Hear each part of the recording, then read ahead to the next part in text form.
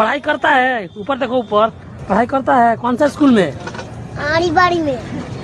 कौन सा स्कूल में आड़ी बाड़ी में